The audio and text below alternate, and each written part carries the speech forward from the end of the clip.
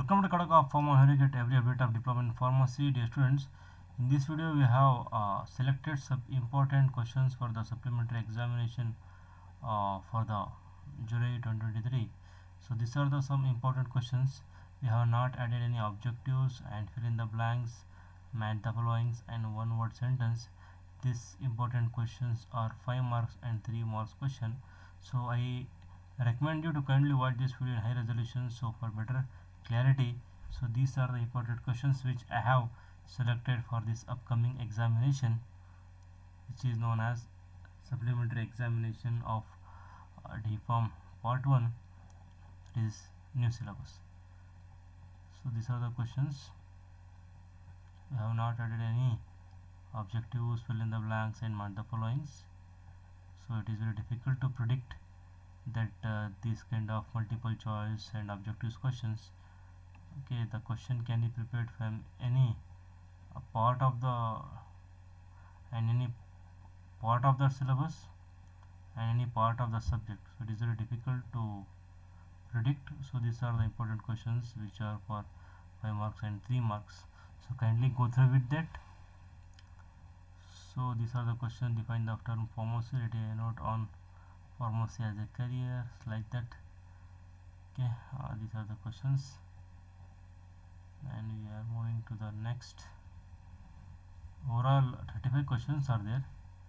I think this we have covered almost all syllabus. So kindly go through with that and make a proper notes with you. And prepare accordingly. Okay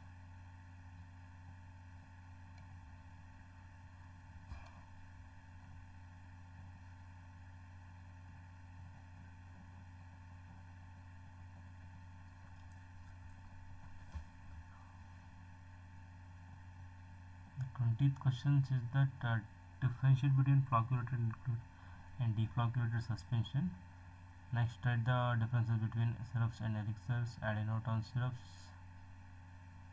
Uh, explain identification test for emulsions define suppository classify suppository bases with examples.